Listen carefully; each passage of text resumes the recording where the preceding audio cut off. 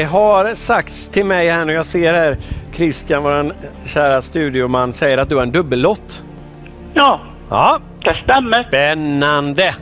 Gunnel, du, Ja, eh, jag gör så här nu att jag vänder om alla de här olika beloppen. Det finns ju upp till en miljon bilar och allt möjligt va? Så nu så ska du få välja två siffror så ska vi se här vad det döljer sig bakom dem. 14 och 16. 14 och 16, det är de numren du väljer. Då har vi, du väljer vinsten 25 000 och så 10 000. Nu får du välja ett nytt nummer. Eh, 23. Ja, tju- det finns mellan 1 och 21 finns det. Oj, ursäkta. Ja, det är ingen fara. Jag har också gjort fel idag. 2. Två. Och 75 000. Vi fortsätter Gunnel. 7. Sju.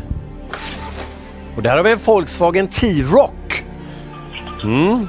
Vad kör vi nu för, siff- för nummer?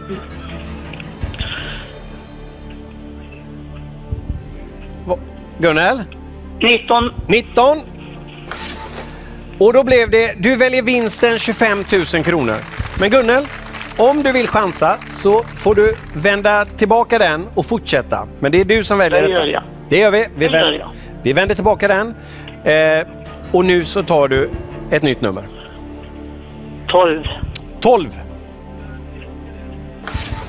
Och då blev det 75 000 kronor Gunnel. Åh, tack så mycket. Det var väl inte dumt det? Det var bra. Ja, du Gunnel, vad ska du göra nu efter vi har lagt på? Jag ska vara väldigt tacksam. Ja, vad härligt att höra. Ja, Ja, du, jag hoppas att du får en jättetrevlig kväll och att du får en fin, fin, fin vecka kommande vecka. tack så hemskt mycket. Ja,